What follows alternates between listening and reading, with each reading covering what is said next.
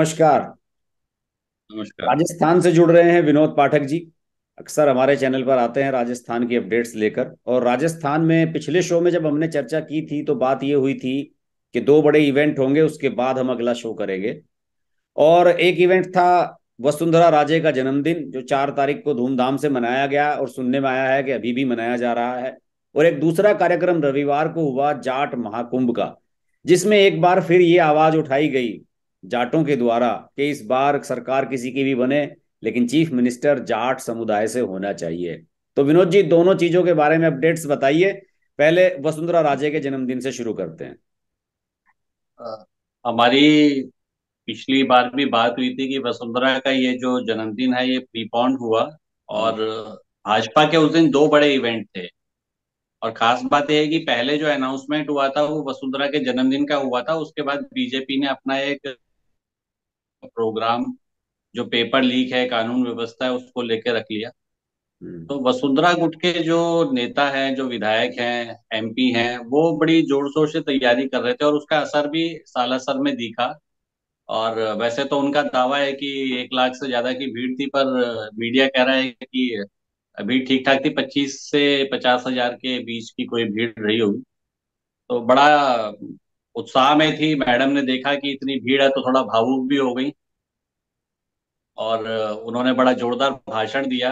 हनुमान चालीसा भी उन्होंने मंच से जो है वो पाठ करवा दिया। और वो जोश का कारण भी मुख्य रूप से भीड़ और जो भाजपा के काफ़ी सारे सांसद थे जैसे बारह सांसदों का दावा हुआ जिसमें राज्यसभा लोकसभा दोनों के थे।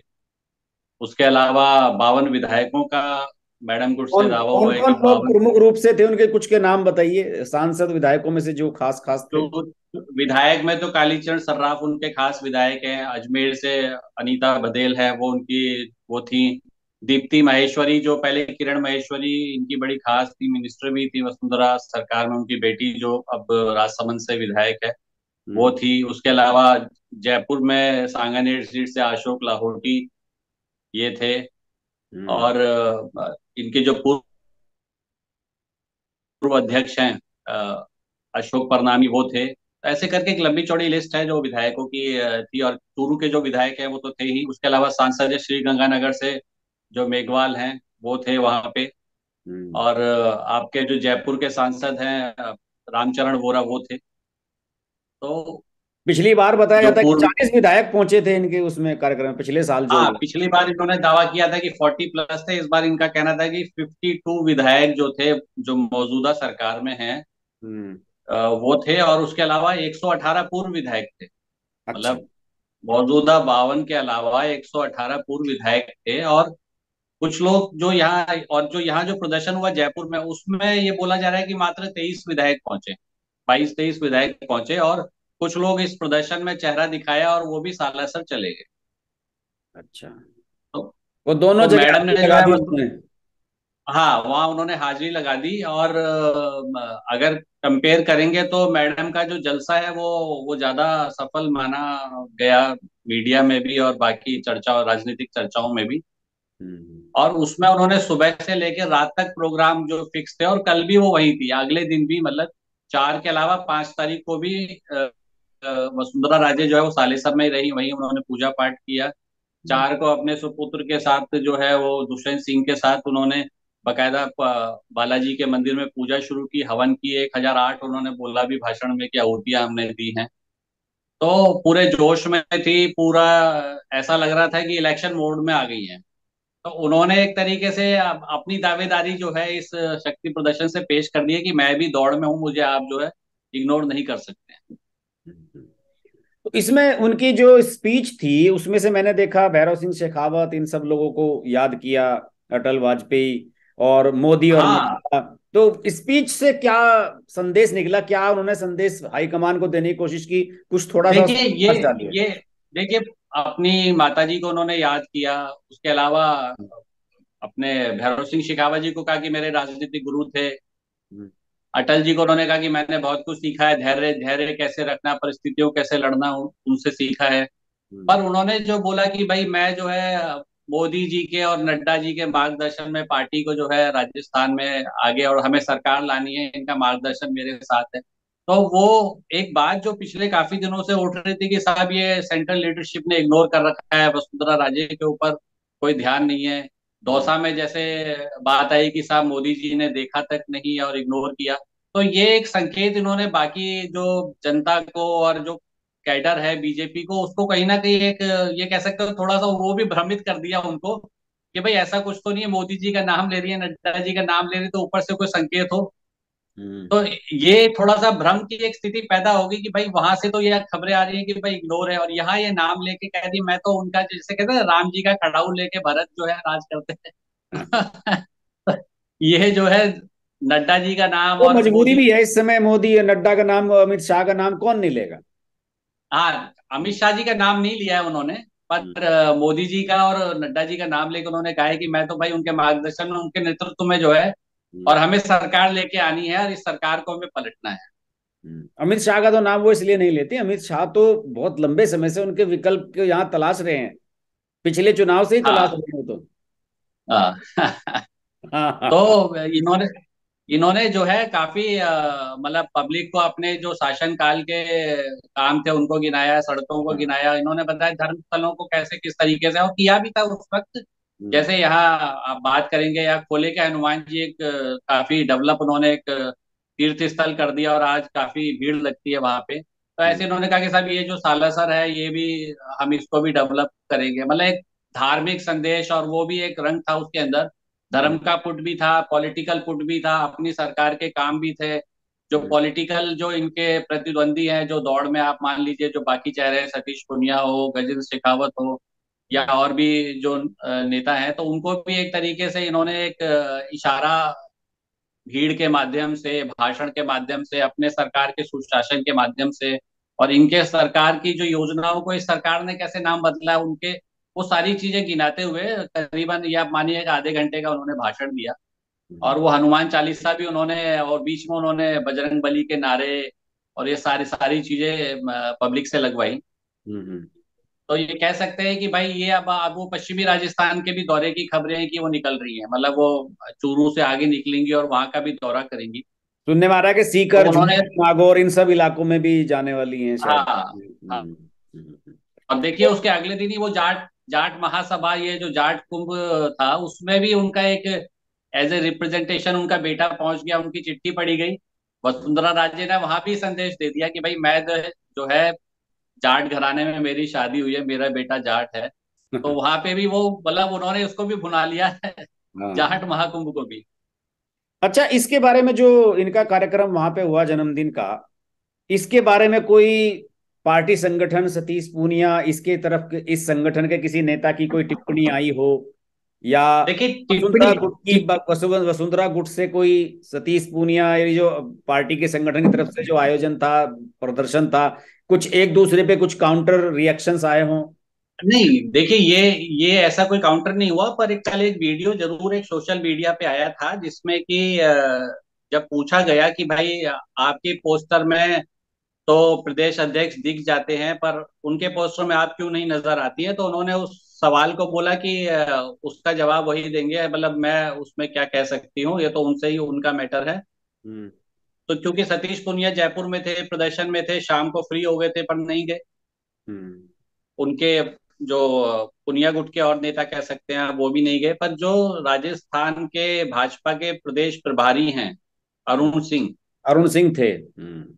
वो शाम को गए और होली होली खेली हम्म, हाँ वो जो फाक होता है राजस्थान में फाक का तो उसको लेके थोड़ा सा तोरियाँ चढ़ी हुई हैं बीजेपी संगठन में कि भाई जाना तक तो ठीक था पर ये जो होली में डांस वाला है हम्म। तो ये मैटर थोड़ा सा मुझे लगता है अरुण सिंह जी के ऊपर भारी ना पड़ जाए कि। भाई आप गए फिर रात को वसुंधरा जी ने खुद फ़ोटो ट्वीट करके भाई फाग खेलते हुए डांस करते हुए बोला एक तरफ़ तो प्रदर्शन चल रहा था और हम्म। एक तरफ़ आप जो है उल्लास और खुशियाँ मनाने वाला वीडियो भी सामने आ रहा है फ़ोटो सामने आ रहे हैं हाँ लेकिन इसमें तो, मुझे एक विनोद जी एक बात मुझे लगती है कि जो प्रदर्शन वाली बात कह रहे हो आप जो संगठन ने रखा था मुझे लगता है कि ये ये बाद में इसका फैसला हुआ उनका कार्यक्रम जो जन्मदिन का था वो पहले से ही निर्धारित था ये हाँ, वो पहले ये से थोड़ा सा इसका ये का पॉइंट है। हम्म। इसमें हाँ थोड़ा सा पॉइंट ये है कि साहब वो क्या करें वो कार्यक्रम पहले से तय था ये तो बाद में फाइनल हाँ हुआ है तो अरुण सिंह तो अरुण सिंह का जाना तो बाद में तय हुआ ये तो क्या मुझे लग रहा है कि बीजेपी संगठन को लगा कि साहब ये कुछ ज़्यादा जो एक आ रहा है ना कि गुटों में बटी हुई पार्टी नेताओं में आप आपसी थोड़ा द्वंद चल रहा है तो मुझे लगता है उसको पैचअप की कोशिश की थी पर वो डांस का वीडियो और उसने थोड़ा सा काम बिगाड़ दिया है। हाँ वो वो हाई कमान का तो ये रहता है कि भाई हमें सबको साथ लेके चलना है क्या हुआ? हाँ बस सबको साथ लेके चलना है और हाँ। हाँ वो सही बात है सही बात है। तो इस इस इस बार मतलब ये है कि अच्छा खासा कार्यक्रम उन्होंने कर दिया। और अपनी हाँ और उन्होंने कहा मैं हर साल करती हूँ मैं हर साल करती हूँ। उन्होंने तो ये सफ़ाई दी मैं तो हर साल करती हूँ नया नियम मेरे लिए। हाँ बिल्कुल सही बात है रूटीन है उनका तो ये। हम्म, अच्छा अब जाट महाकुंभ के बारे में बताइए।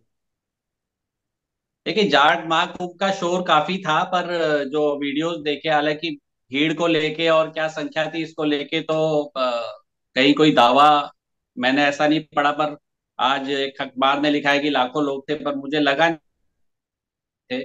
पर ये था कि जो रिप्रेजेंटेशन था आसपास के इलाके मतलब जो बीजेपी के कांग्रेस के और बाकी जो पार्टियों के नेता थे अखिल भारतीय जाट महासभा थी वो सभी लोग मंचा सिंह थे। केंद्र के मंत्री कैलाश चौधरी जो कृषि राज्य मंत्री हैं वो थे। हम्म। और यहाँ के चार पाँच मंत्री थे इवन जो गोविंद सिंह डोटासरा कांग्रेस के अध्यक्ष हैं वो थे। भाजपा के अध्यक्ष सतीश पुनिया वो थे। हम्म। आपके मुजफ्फरनगर से राकेश टिकैत आए हुए थे।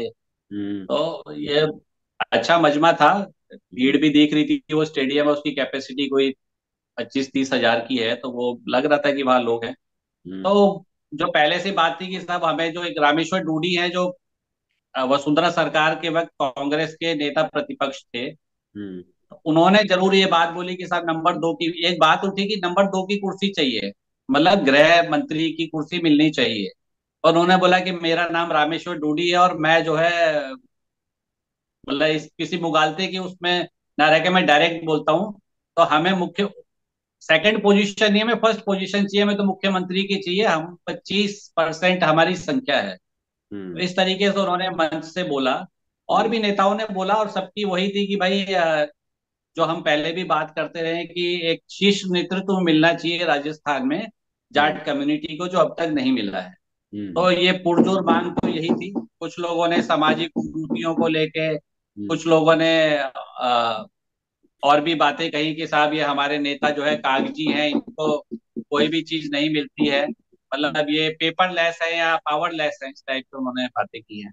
अच्छा इसमें कोई इसमें जो कमी जी जी बताइए बताइए। एक कमी हनुमान बेनीवाल की ज़रूर इसमें खली क्योंकि हाँ। वो इस वक्त सबसे उभरते जाट नेता हैं और वो मजमे में नहीं थे। इसका क्या मतलब हुआ? भाई मुझे लग रहा है कि वो दिखाना चाहते हैं कि देखिए साहब मैं इनसे अलग हूँ क्योंकि अ, सही बात है एक जाजम है मतलब एक एक मंच पे आके वो शायद ये जताना नहीं चाहते कि कांग्रेस भी मैं इनके साथ भी हूँ बीजेपी के साथ भी हूँ। वो अकेला चल के और जाटों में जो एक बोला कि मैं अकेला उन्होंने अटैक भी करते रहे इस बात को लेके कि भाई सरकार के खिलाफ मैं अकेला लड़ रहा हूँ बीजेपी के खिलाफ केंद्र में मैं अकेला लड़ रहा हूँ। कृषि हम्म। कानून पे मैंने सरकार का साथ छोड़ दिया। तो हम्म आप मेरा साथ दीजिए इन सबके साथ में आके मतलब उस मेरी लड़ाई को कमज़ोर करने वाला ये एक शेयर होता है ना केक हाँ वो कहते हैं कि वो भीड़ वो भीड़ का पार्ट नहीं बनना चाहते वो अपने आप को हाँ स्टैंड भीड़ एक का पार्ट नहीं बनना चाहते। हाँ हाँ सही बात है। अच्छा इसमें जब ये सब मांगे उठी हैं आपने तो बताया कि कैलाश चौधरी थे डोटासरा भी थे सब हाँ लोग थे दोनों ही पार्टियों के लीडर थे।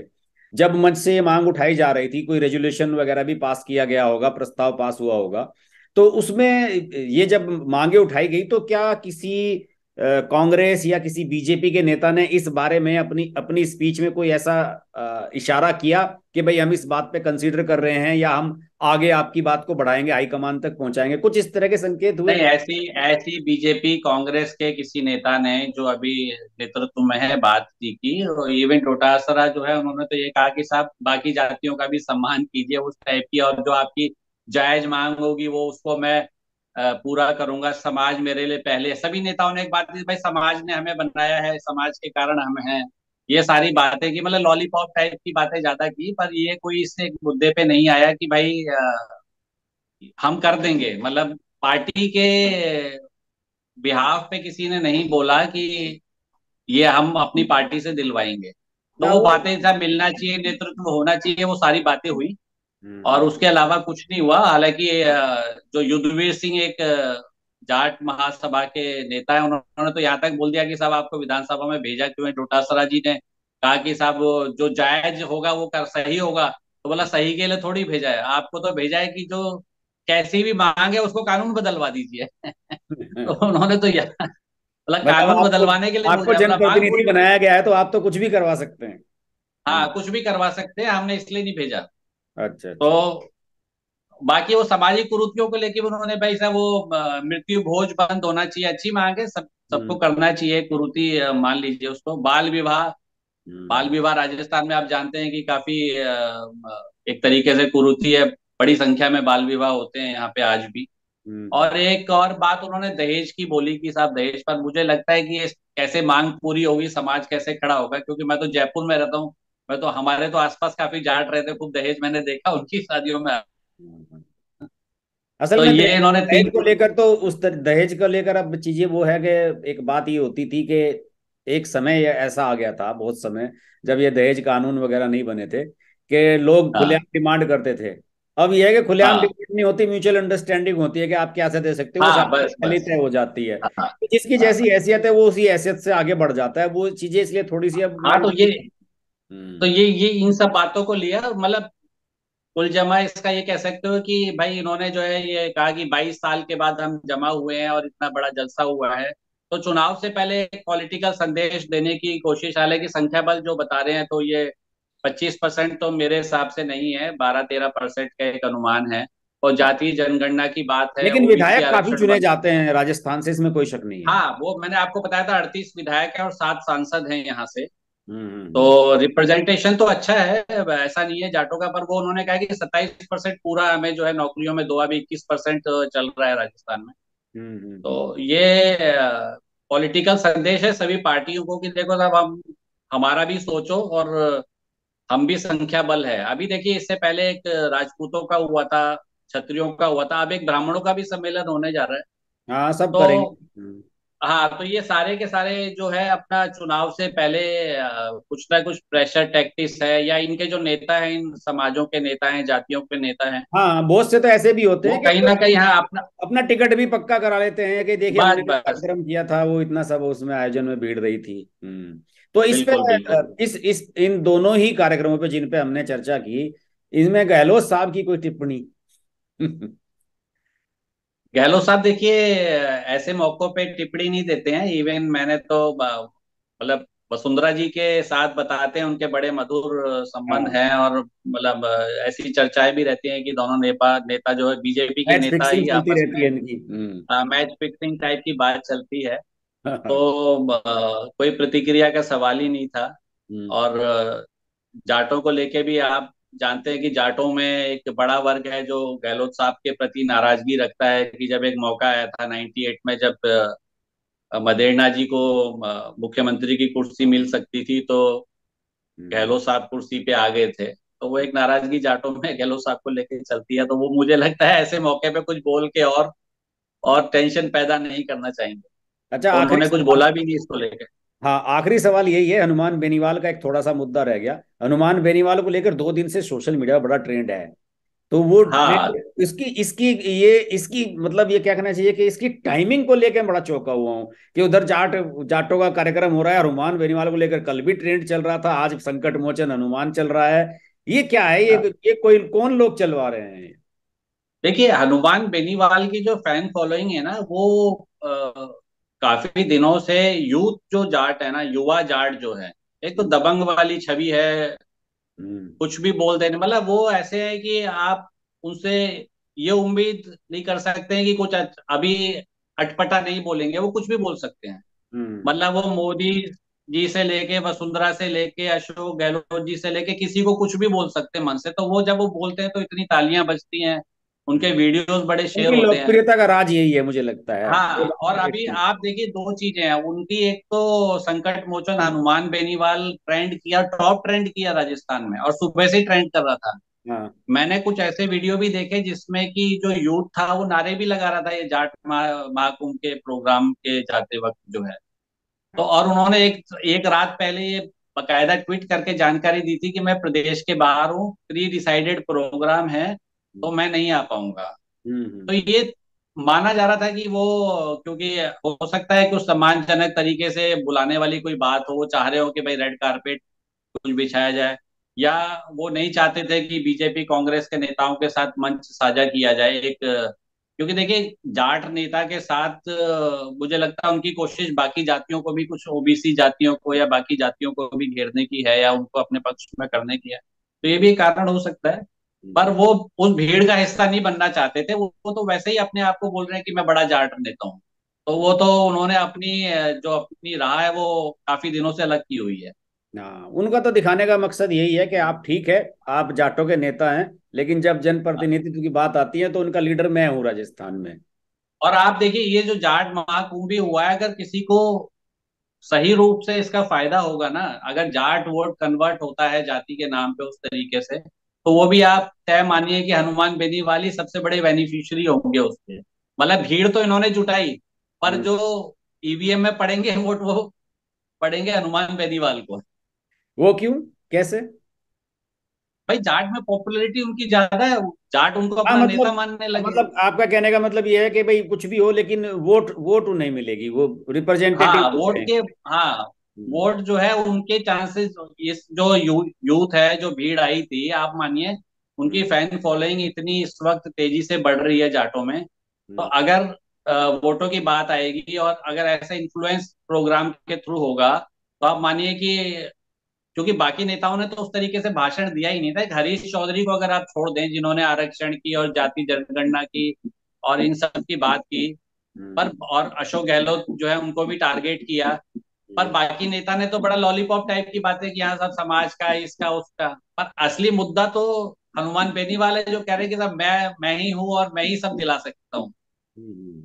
हाँ फिर वो तो आपने वो एक सांसद हैं केंद्र में पार्लियामेंट में बोलते हैं बात उठाते हैं। हाँ। बात है उसकी वजह और बड़े सक्रिय हैं रात रात को उनकी सभाएँ होती हैं दो दो बजे तक मतलब इस क्षेत्र में पश्चिमी राजस्थान में दो दो तीन तीन बजे तक वो और जहाँ जाते हैं बड़ा मजमा इकट्ठा होता है बड़े लोग इकट्ठे होते हैं और उनके भाषणों को सुनना चाहते हैं। सोशल मीडिया पे भी आप देखेंगे अक्सर तो उनको लेके काफ़ी सारे ट्रेंड्स चलते हैं। चलिए अपडेट्स के लिए धन्यवाद विनोद जी। आपसे बात होती रहेगी आप अपडेट्स हमारे लिए लाते रहिए।